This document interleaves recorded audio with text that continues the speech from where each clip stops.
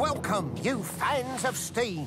Welcome, fans of speed. Welcome, one and all, to this year's Great Railway Show!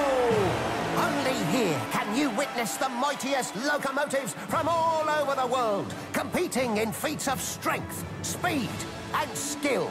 Allow me to introduce you to this year's contenders. And here is Raul of Brazil. One-time champion a few years back, this true hero is respected throughout the railway. A great character both on and off the track. This little steam engine certainly packs a punch.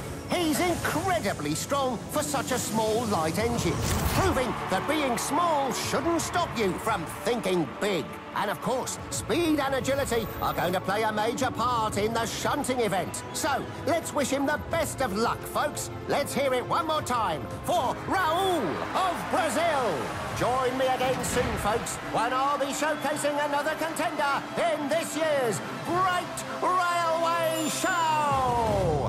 And here is Yong Bao of China. Wow! Have you ever seen such a spectacular looking engine? Strong, sleek and steamy.